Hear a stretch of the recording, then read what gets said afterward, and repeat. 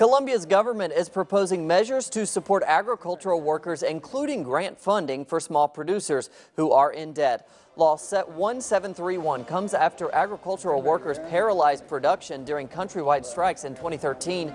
President Juan Manuel Santos uh, campaigned on providing more resources to Colombia's agricultural workers. Agrarian reform was also the first item on the agenda and peace talks between the government and the FARC, which are continuing in Havana this week.